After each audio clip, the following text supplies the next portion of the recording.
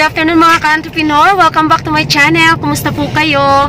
So, bumiyahe po kami ngayon. Papunta kami ng city. Actually, nandito na po kami. After 4 and a half hours, nandito na kami sa city. Ngayon mga ka-entrep is... Uh, sulitin natin yung oras kasi marami tayong mga lalakaran. Didiretso agad po ako ng sa bangko po, sa BDO para mag ano mag-request po ng checkbook kasi mauubos na yung aking checkbook. So, ay share ko po sa inyo yung about po sa checkbook, kung paano po mag-open ng checkbook at kung gaano ba ka-importante sa ating uh, pagninegosyo ang mga cheque para po tayo makapag-issue ng tinatawag na PDC sa ating mga supplier o yung tinatawag na post-dated check. So, importante yun mga ka-antrip. Mga ka-antrip, nandito na tayo sa BDO.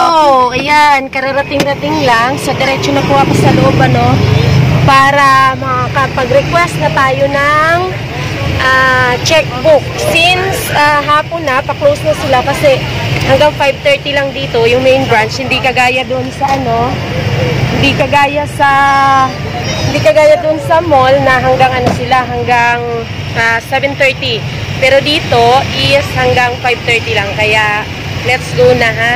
Mamaya po sabihin ko sa inyo yung mga requirements tungkol sa requirements at saka uh, yes, mamaya sabihin ko sa inyo yung mga requirements kung paano tayo makapag ano, kung paano po kayo makapag-open din ng checkbook sa mga bangko po ninyo. Okay? So, since bawal ang cellphone sa loob, uh, didiretso na muna ako ha. See you later. So, sobrang bilis lang mga ka-entrepreneur. Ang bilis-bilis lang kasi wala nang tao, wala nang pila. Usually kasi kapag ano, kapag hindi siya pa-close pa yung ano, yung oras, sobrang ano, sobrang matagal kasi ang haba nga ng pila. Pero ngayon, uh, walang pila. Kaya, uh, nakapag-request na ako na iwan ko na yung sa form. Tapos nakapagkuha na ako ng ating um, authorization form or authorization letter para pagkuha nitong nung checkbook, kahit na hindi na ako yung kukuha, is ibibigay. Ibibigay siya kay Ray kasi siya yung ilalagay ko dito sa form na kukuha ng ating checkbook, okay? Di ka pa nga po pala nakapag-subscribe ka, Antrep. Uh, please click nyo na po yung subscribe button dyan at huwag kalimutan ang notification bell para updated ka every time na may upload tayo mga bagong videos dahil palagi po tayo nag-upload ng mga videos as much as I can, as much as the connection or the internet connection can. So, mag-upload po tayo ng mga videos. So, ang pag-uusapan natin ngayong gabi mga ka-antrep is all about It's all about cheque po. Yes. So, ang pag-uusapan po natin is kung paano mag-open ng checking account sa uh, bangko or kung saang bangko man kayo may savings account or kung saang bangko man kayo nagtatransact. Okay? So, before that, mga ka-antrip, share ko lang po sa inyo kung gaano ba or ano ba yung advantage nung pagkakaroon po ng checking account or pagkakaroon po ng cheque sa atin pong mga negosyo alam niyo mga ka-trip, di ba, uh, ever since naman, nung nag-start po talaga kami is, wala po talaga kaming uh, pera, walang pang pondo, walang pondo. So, naging sandalan ko po itong cheque, naging sandalan ko po itong cheque para po makamove or makagalaw po yung aming business since wala nga po kaming cash na nasa kamay, walang pondo, walang, basta wala pong pera. So, naging sandalan ko ang cheque dahil po ang mga supplier po is uh, pumayag po na isyuhan lang sila ng PDC or yung tinatawag nating post-dated check.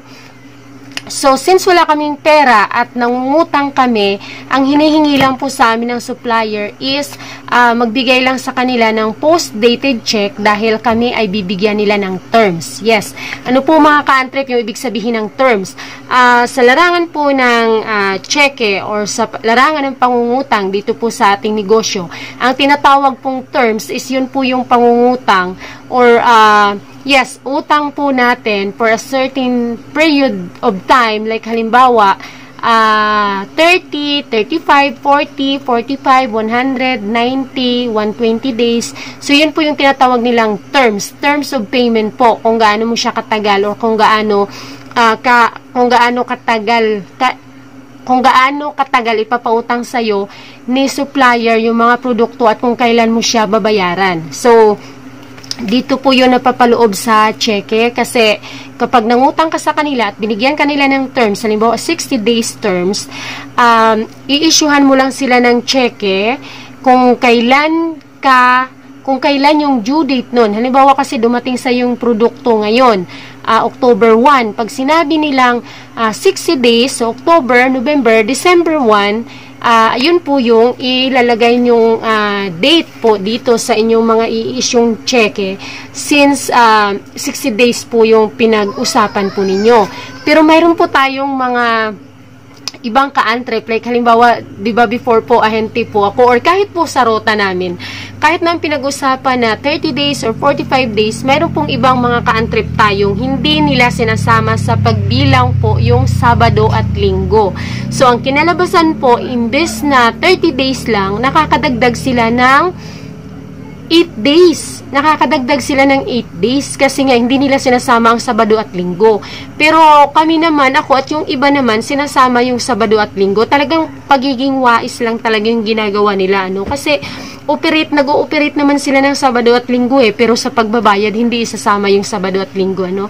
So, Huwag tayong ganun kasi yung mga supplier naiinis yan pag ganyan. Dapat kasama ang Sabado at Linggo. Kasi yung produkto naman nasayo na eh, kahit Sabado at Linggo. So, nasasayo na yun, di ba? Kung ibebenta mo siya ng Sabado at Linggo or hindi. Basta ang pagbabayad dapat, isama mo na sa pagbilang ng araw yung Sabado at Linggo. So, anyway, ano po ba ang pinaka-benefit talaga ng uh, pagkakaroon ng cheque or uh, pag-i-issue natin ng post-dated check doon sa ating po mga supplier?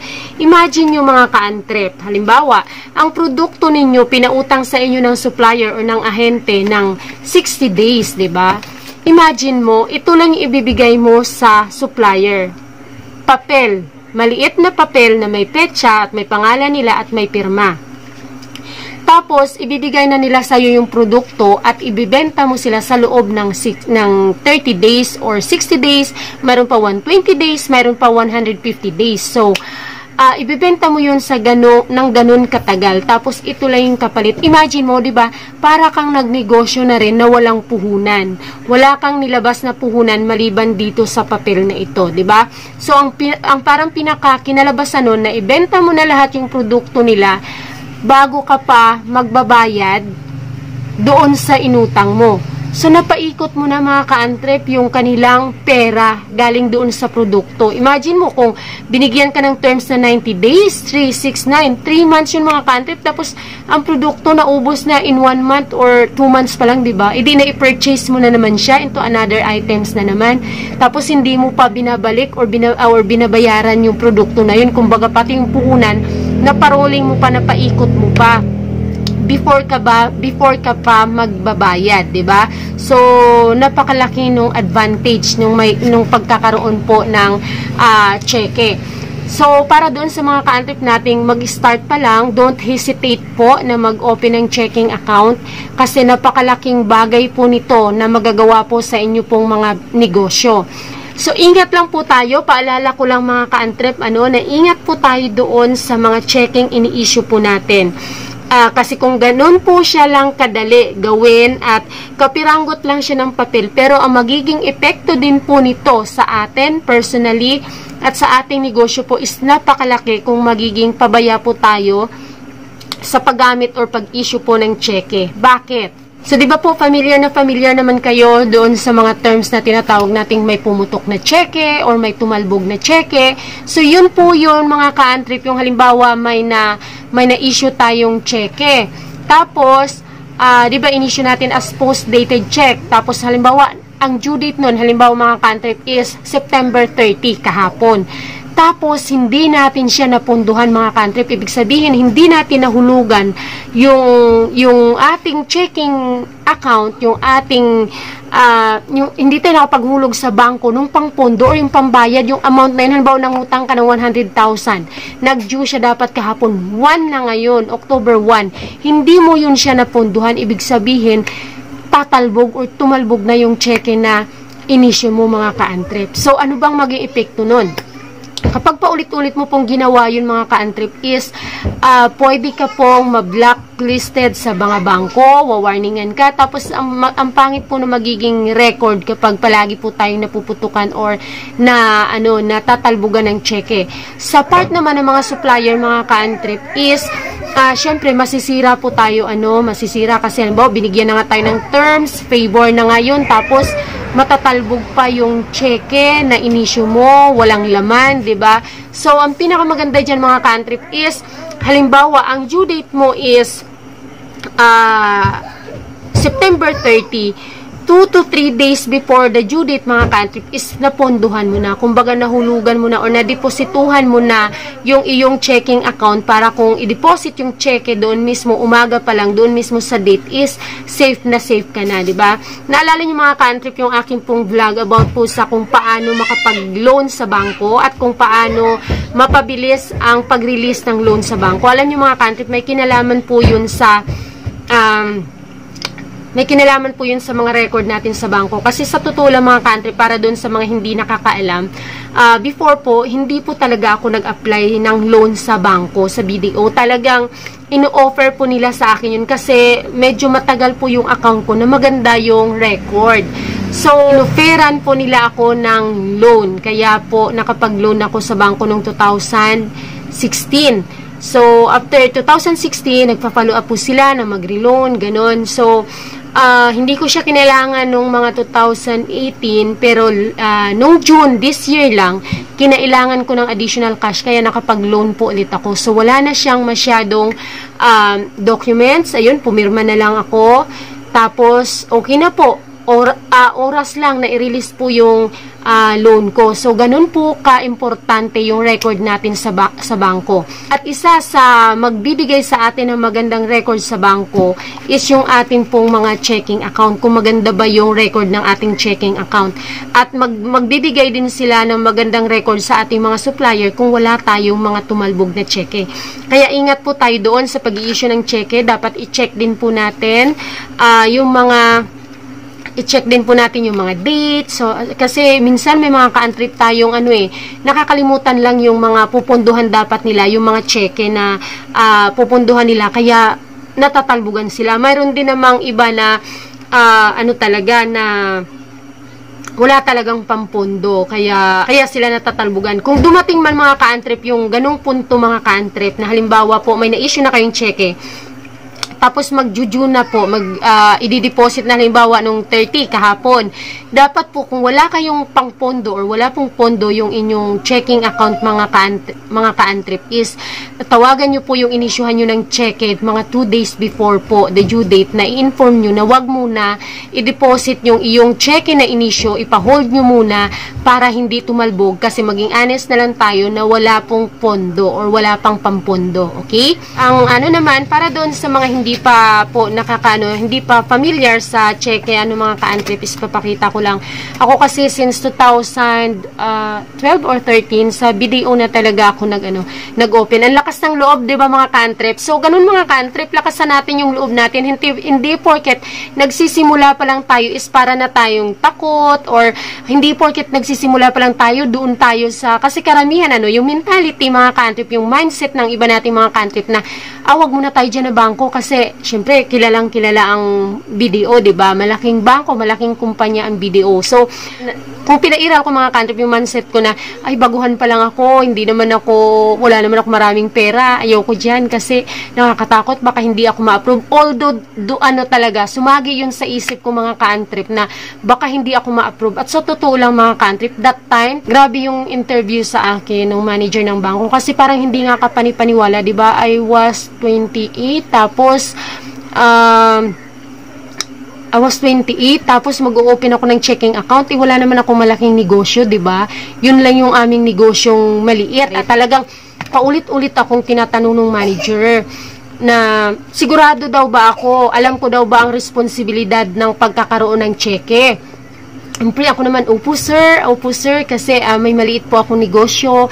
Ganun, tapos tinignan niya, di ba, o bago ka pa lang So, yun nga mga ka-trip, diba? Paulit-ulit niya akong tinanong, tapos talagang winar niya ako na kapag daw tumalbog, natalbugan ako ng cheque ng parang tatlong beses ba yun? Or basta pag natalbugan daw ako ng cheque, talagang i-close daw nila kaagad yung aking uh, checking account. So, ako naman biglang kinabahan. Natakot ako, pero sabi ko, bahala na. Siyempre, takot na takot ako mga ka-trip kasi first time, diba? First time ko mag-open ng account, ng checking account, tapos sa BDO, talagang ang tagal kong nakaalis doon sa pag-interview, parang pinag-isipan ng husto ng manager kung pipirmahan niya yung request ko na yun or hindi. So, to make the story short, inaprubahan naman niya na, na ano naman, na na grant yung aking wish at yung aking ano, yung aking uh, pangarap na magkaroon ng checking account. Kasi yun din yung tip sa akin kasi nung ahente na nakilala ko na bibigyan nila ako ng terms basta't makapag-provide ako ng, ng cheque para ma-issuehan sila yung company ng, ng post-dated check. Okay? So, ang lakas ng loob ko. Huwag tayo matakot mga kantrep. Kung kaya nyong mag-open doon sa mga malalaking mga uh, bangko, kung doon yung savings nyo. Pero mas maganda mga kantrep, kung saan kasi yung savings account nyo, doon na rin kayo mag-open ng checking account. Okay? Pero doon sa mga wala pang savings account sa bangko at planong mag-open, doon na kayo sa mga magagandang bangko mga kantrip. Kasi alam nyo, uh, sanga-sanga yan mga ka-antrip eh. Pag ang bangko mo na ginagamit, tapos mag-loan ka halimbawa ng sasakyan or mag-loan ka ng kahit na saan or sa mga supplier, pag nalaman nila na ang ang bangko mo or ang cheque mo sa maganda or sa malaking kumpanya ng mga bangko, uh, para hindi sila nagdadalawang isip kasi alam nila yung standard ba mga ka-antrip na syempre kapag Halimbawa, kapag sa BDO nga, syempre stricto. So, ibig sabihin, parang safe sila. Safe sila na, na ano, na na tanggapin yung mga PDC mo kasi syempre as tayo na mga mag issue alam din natin na hindi natin sisirain yung pangalan natin at yung check natin doon sa bangko mismo, 'di ba? Talagang pangangalagaan natin, okay? So para po sa ano, napahaba ng aking kwento, para po sa sa, ano ba tawag dito, para po sa requirements po ng pag-open ng checking account sa inyo pong mga bangko is, uh, kailangan lang po mga ka-antrip, babalik po tayo doon sa mga permits. Yun lang po mga ka-antrip. Uh, isasubmit nyo lang po ang mayor's permit, uh, COR at DTI at saka valid ID with, ano po yan, with picture, syempre, ID card, government ID card with picture. And then, may form po kayo na i-fill out po doon. Yun lang. And then, hihintayin nyo na lang na ma-release yung inyo pong uh, checkbook. Parang one month yata siya pag una. Ganun. 1 to 2 months. Depende po sa mga bangko. Depende po doon sa transaction. Kasi, um, sa ano po sa video kapag nagre-request po ako parang 2 2 to 3 weeks ang dami po kasing client so depende po yun sa inyong mga bangko kung gaano nila katagal bago ma-release yung inyo pong mga checkbook po na ni-request.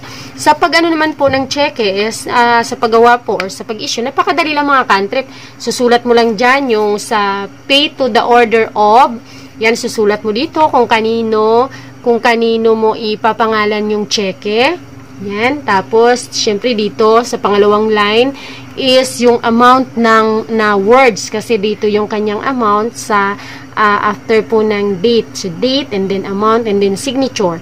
So, sa pagsulat po, or sa pag-issue po natin ng check ay mga country, keep in mind po na napaka-stricto na po ngayon ng mga bangko pagdating po sa pagsusulat ng uh, mga ano ng mga cheque Before po kasi, kapag may erasure, pwede mo siyang i-erasen, tapos dudublihan mo siya. Alam mo, snowpick mo lang ano, or correction, ano, ano ba yun, correction liquid. Tapos, susulat mo na siya ulit, tapos lagyan mo lang siya ng initial sa taas. Pwede yun dati. Pero ngayon, hindi na po pwede yun. Pati po yung date, yung date po na ilalagay po dito, dito. Before po kasi, kahit na ano lang yan, pwedeng unahin na yung year, pwedeng unahin yung day, bago yung year or day. Basta, basta dati po kahit na ano pwede, basta may date siya. Ngayon mga country, hindi na po. Make sure na uh, palagi pong mauna na talaga yung month and then the date bago po yung year. So, standard na po siya. At yung sa pagsusulat po, talagang kailangan malinaw at wala po talaga kahit maliit na erasure. Kahit yung minsan nga yung doble lang, na doble mo lang yung, bo, pag mo ng ganyan ng ballpen, hindi dumaan, uulitin mo, tapos parang umiba ng konti o nahalata na may na dinoblihan, hindi na nila tatanggapin yun. So, kung kayo ang i-issue ng cheque, uh, keep in mind, lalo na kung malayo yung nag-issue sa inyo at kung halimbawa, dadaan pa ipa-LBC pa, ganun. So, hassle yun mga cantrip. So, make sure na basahin, tingnan yung date at pagkakasulat nung ano, nung, nung amount sa words at saka sa figure. Dapat parehong-pareho talaga siya. So, para naman sa atin na mag issue syempre, ang hassle doon kasi uulitin mo, di sayang din yung ano, sayang din yung cheque, ba? Sayang din yung papel eh pag nag-request ka, magkano din ang booklet? Parang 180 yata per booklet kapag nag, ano kay, nag, nag-request. So, sayang yun kapag palagi tayong may mali at palaging nag-i-issue ulit pa, pabalik-balik. Okay? So, yun lang mga cantrip, sana po ako ay nakapagbigay sa inyo ng bagong information about po sa ating po dito sa bagong journey ng ating pong pagninegosyo na tayo po ay mag-open na rin ng checking account para mas mapalago pa at mas, maganda, at mas mapaganda pa ang pag-operate or ang operation ng ating business. So cantrip, kung hindi ka pa nakapag-subscribe, please click mo na po yung subscribe button dyan at huwag kalimutan ang notification bell para palagi ka pong updated sa mga bagong videos po nating ginagawa. Sana tayo ay sabay-sabay na yumaman yumaman at umasen, at umasen sa mga cantrip sa larangan ng pagninegosyo. Okay? So, let's continuously moving mga cantrip. See you. Bye!